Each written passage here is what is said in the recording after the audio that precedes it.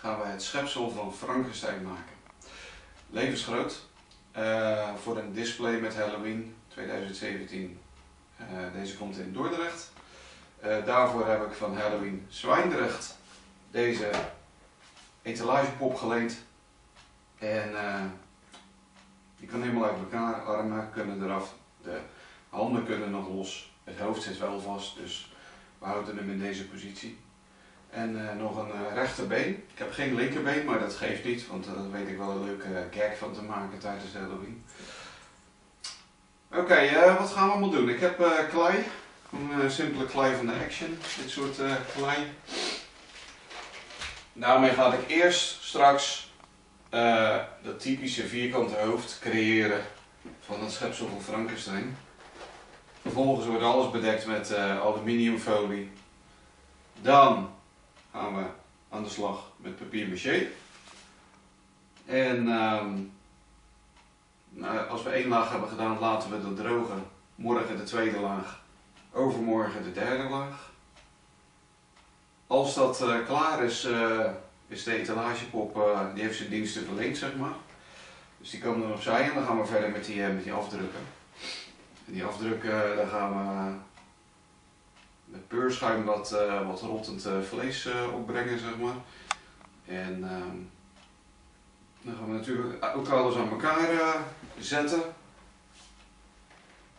Weet je, je ziet het wel. Ehm, komt allemaal goed. Ik ga niet alles filmen. Omdat ik zoiets heb van, ja, de meeste stappen heb ik al eerder laten zien. Of die begrijp je sowieso wel. Mochten er vragen zijn, dan kun je ze stellen als reactie in de, onder deze video.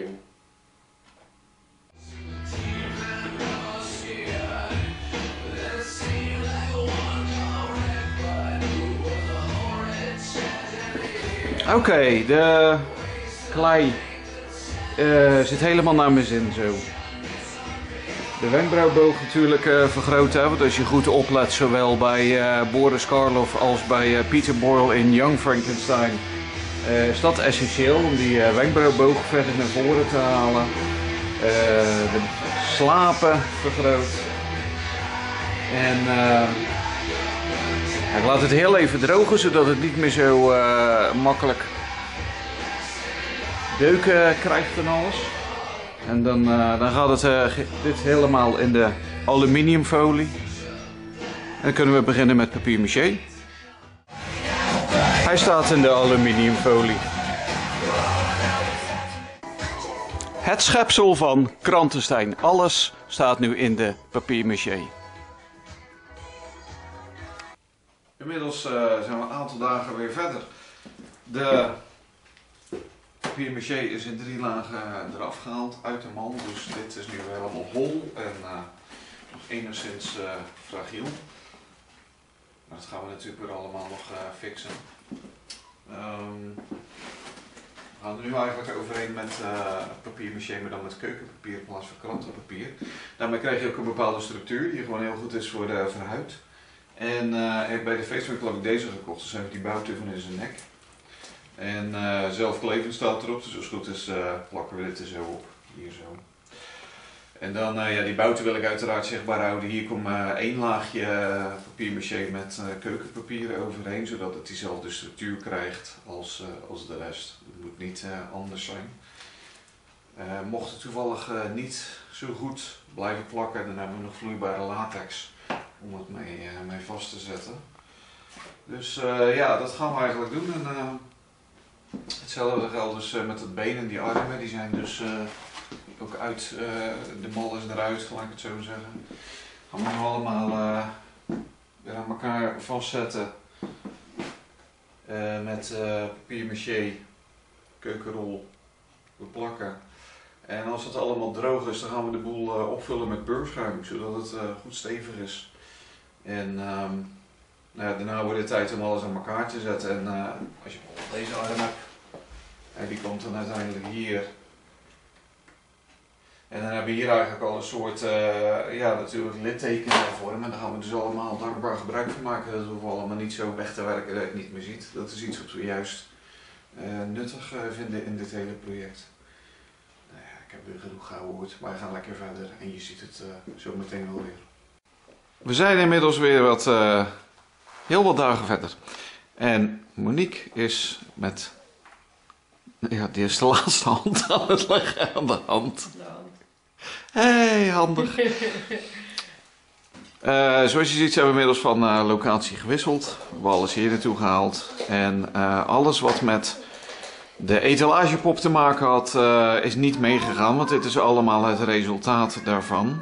En nou ja, die oorspronkelijke etalagepop in ieder geval op een stuk karton gezet. En dit, die vorm van dat, van het bekken zeg maar, nagetekend uitgesneden. Zodat dat een goede vorm zou geven. Uh, peurschuim erin.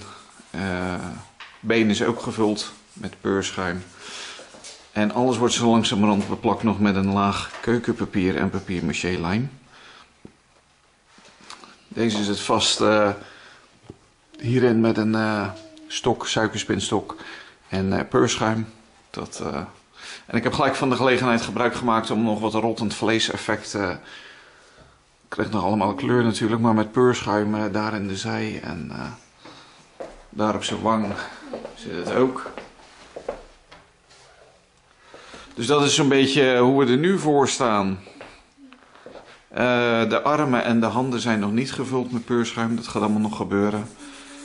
Als dat is gedaan, kan het erop. En met het lijnpistool vorm ik alvast littekenweefsel. Gaat helemaal goed komen.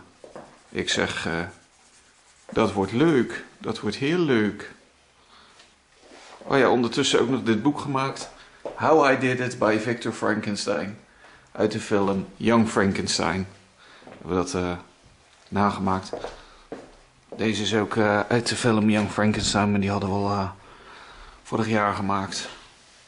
Do not use this brain, abnormal. En zo zijn we tussendoor heel veel dingetjes extra aan het maken. Uiteindelijk uh, komt hij op een uh, schuine tafel met een groot uh, wit badlaken eroverheen. Dus zijn edele delen worden bedekt, zeg maar. Inmiddels weer wat stapjes verder. Frank, zoals we hem momenteel genoemd hebben, zit in elkaar. Hij is uh, in elkaar gezet met line, peurschuim en dat soort dingen. Uh, een keer in de grondverf helemaal uh, gespoten, daarna met de spuitbus blauw. wat vlammend effect lijkt het wel. Het geeft allemaal verschillende tinten. Wanneer je de oude films kijkt van Frankenstein is natuurlijk altijd zwart-wit, maar er zijn wel kleurfoto's beschikbaar. Maar daarin wordt hij meestal groen of blauw, zie je hem dan. Dus vandaar dat ik ook in eerste instantie voor blauw heb gekozen. Tevens omdat het ook de kleur is van onze aders en dat soort dingen. Ik ga nu met uh, donkergroen. Het gaat met name om de stukjes waar peurschuim zit. Dus een stukje rottende vlees. Dat moet wat donkerder worden. Dit is een vrij donkere kleur groen. En ik ga met verschillende tinten groen nu het een en ander opbouwen. Uh, even een uh, opmerking tussendoor. Die bout in zijn nek, die zijn tijdens al dat spuitwerk zijn die, afge taped met uh, schildersteep, zodat die gewoon uh, beschermd zijn tegen alle verf. Oké. Okay. Ik ga het niet uh, dekkend spuiten, gewoon ook net als het blauw, net een laagje. En hopelijk geeft het weer mooie effecten. Oh ja, ik heb intussen ook ogen gekregen trouwens. Met een half piepschuimen bolletje en daar hebben we een papier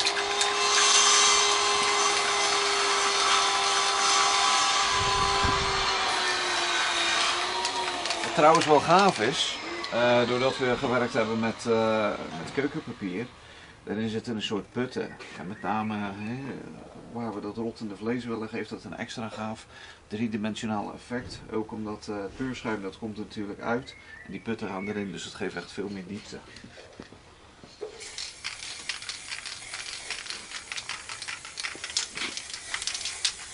Het is uiteindelijk de bedoeling dat het werkelijk een uh, versie van Frankenstein is waar ik nog aan bezig ben als dokter Frankenstein. Uh, dat wil dus zeggen, hij leeft nog niet en ik ben er dus nog volop mee bezig op dat moment uh, als we Halloween gaan doen. Hij mist natuurlijk zijn linkerbeen en dat is iets waar ik juist gebruik van ga maken. Ik zorg dat ik een soort meetlint heb en iedere bezoeker bestorm ik van hé, hey, ik zoek nog een been en heb jij de juiste maat, weet je, al dat soort dingen.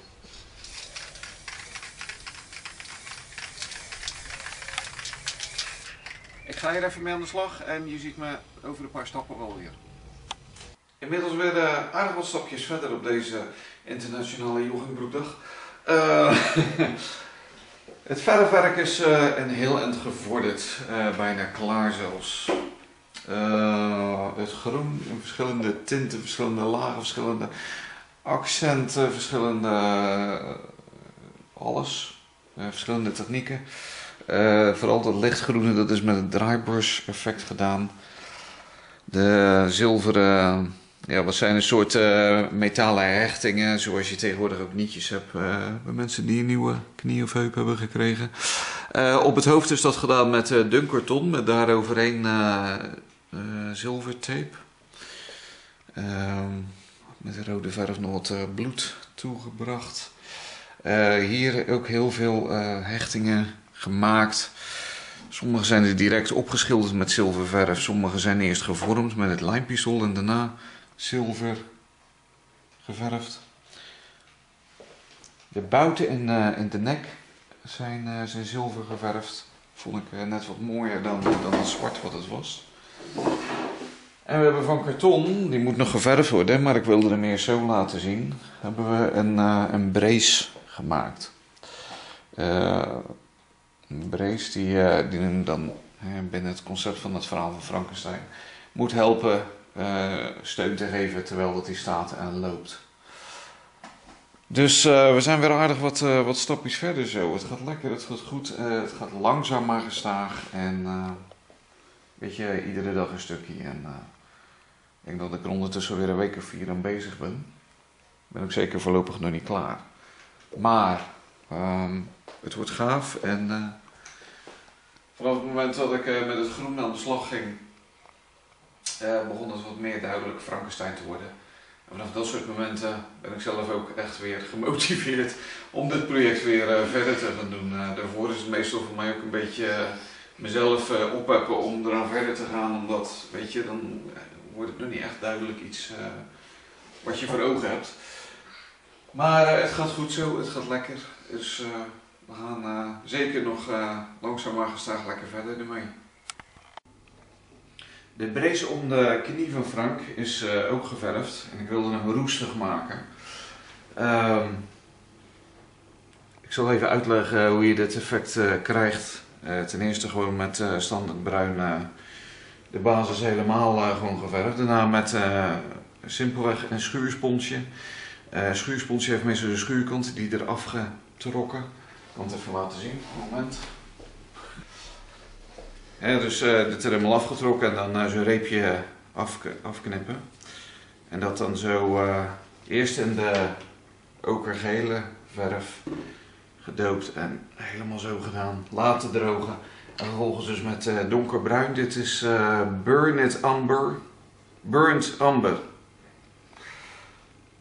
Uit zo'n setje komt dat. Ook nog helemaal nagedaan. Dan heb je dus gewoon echt dit gave roestige effect. Dus uh, dat even tussendoor. Frank die begint een beetje zijn einddoel te bereiken, zeg maar. van een stuk pellethout wat, wat nog in elkaar zat, daar een, een frame eigenlijk uitgezaagd. het zijn eigenlijk twee lange planken met drie planken aan elkaar verbonden. En met de tekken daar kartonnen platen op vastgezet. Uh, daarbovenop uh, een kussen van de Action. Um, een laken van de Action. En een handdoek van de Action. Bij elkaar iets van 9,99 euro of zo. Minder zelfs. En Frank ligt nog niet vast. Um, hij komt schuin te staan, dus wordt van, uh, van pellethout nog een stellage onder gerealiseerd. Maar wel op een manier dat het allemaal uit elkaar kan en vervoerbaar blijft. Um, dat is eigenlijk een beetje de update tot en met nu. Dit is dus uh, ja, een beetje het idee, hè? Zodat uh, met Halloween uh, komt deze achter, een pui in, het, zeg maar, in de woonkamer van mensen waar in de tuin het Halloweenfeest begint eindigt en iedereen verzamelt. En het is dus dat ik er nog aan bezig ben en ik ga dus mensen bestoren maar van. Heb je nog een beetje voor mij? uh, in de rol van, uh, van Dr. Frankenstein en nou ja goed, ik weet wel in ieder geval hoe ik dat karakter weergegeven, die gekke wetenschapper. Ehm, baseer het voornamelijk op mezelf als ik te veel cafeïne op heb. En op uh, een uh, komiek uh, die met name in de jaren 80 bekend was, Bob Goldthwait uit de Police Academy films. Misschien dat soort trekjes, weet je wel. Ehm, goed, dat is eigenlijk allemaal gelul in de ruimte waar jij niks aan hebt als je Frankenstein wil maken. Um, ik laat het hier weer even bij voor nu. Inmiddels zijn we aan het bouwen met pellethout. waarom? We willen dat het monster van Frankenstein schuin op een soort brancard-idee dus uh, te zien is. En hier komt hij op. En we maken het zo eigenlijk dat uh, voor het vervoer, dat het meteen een soort kist is waar we spullen in kwijt kunnen. Uh, je ziet hier hoe de binnenkant is opgebouwd. We hebben nu even pauze omdat uh, de boormachine weer even moet opladen. En natuurlijk weer even een ideetje wat tussendoor is gerealiseerd met wat oude fotolijstjes, een setje wat ik nog had liggen. Plaatjes uitgeprint van Marty Feldman in de rol van Igor uit Young Frankenstein. Anthony Hopkins in de rol van Hannibal Lecter uit de film Silence of the Lambs. Naomi Grossman in de rol van Pepper uit American Horror Story. En Anthony Perkins in de rol van Norman Bates uit de film Psycho. Met het iconische huis op de achtergrond. Gewoon leuk. En uh, dit hebben we alvast op een plank gemaakt. Zodat op de dag zelf, als we weinig tijd hebben, dit uh, heel snel opgehangen kan worden. Dat we niet alle vier de lijstjes afzonderlijk hoeven op te hangen. En uh, zo zijn we weer lekker bezig, Freek.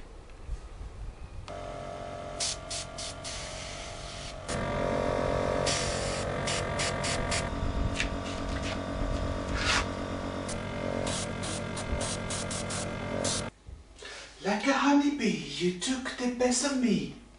Now I can't erase these memories. Like a fairy tale, you were so unreal. Oké, genoeg uh, talentloze gezang. Uh, mocht je weten wat ik net zong, uh, laat het zeker even achter de comment. ja, laten we er een quiz van maken. Wat zong ik zojuist? Oké. Okay. Um, ik wil Frank zeg maar op die brancard hebben, maar ik wil ook dat hij daar nog vanaf te halen is. Ik wil niet dat hij daar vast op komt. En uh, als hij zo schuin komt, dan heb je natuurlijk grote kans dat hij eraf blijft glijden. Nou ja, grote kans, dat is gewoon zo. Dus ik ben even iets aan het maken. Um, dit komt zeg maar nog in die brancard. Hier heb ik er twee van. Waar is die tweede? Daar. Dit is uh, een dikke deuvel op een plankje. En dat komt zeg maar ter hoogte van uh, ja, zijn schouderblad ongeveer. Onderdoor komt dat erdoor. En bij zijn voet. En uh, dat gaat dan zijn voet in. En in zijn voet zelf komt dan een stukje PVC-buis wat daar precies in past. Dus daar ben ik nu mee bezig. Als dat in elkaar zit, dan is dit project eigenlijk klaar. En dat werd ook wel een keer tijd. Volgens mij ben ik er al drie maanden aan bezig of zo. Niet continu. Ik heb heel veel tussendoor gemaakt. Want, nou ja, dat heb je eigenlijk wel gezien. Uh, Frankenstein, het, het, schepsel maken, was eigenlijk in eerste instantie deel 2 van de Mad Scientist Lab. Maar er ging nogal heel veel tijd en werk in zitten. Ehm, dus dat brengt met zich mee dat ik heel veel andere dingen eigenlijk tussendoor heb gedaan. Terwijl dat ik met Frankenstein bezig was. Dus lang bezig geweest, maar niet getreurd, want ik heb dus heel veel tussendoor gedaan. Goed. Uh, ik moet even wachten tot mijn accuschroefboormachine is opgeladen. Dan kan ik die dingen op zijn plek monteren op die brancard en in de voet en in het schouderblad van Frankenstein. En dan, uh, dan zijn we zover. En dan kunnen we ook deze video afsluiten. Dames en heren, het schepsel van Frankenstein is klaar. Dit is hoe hij met Halloween tentoongesteld zal worden. Heel veel werk aan gehad, maar het resultaat is er zeker om te zijn. Uitermate tevreden. Um, langste project ooit waar ik aan gewerkt heb voor Halloween. Maar het is uh, ook een passie uh, wat monsters betreft, de oudste passie die ik heb.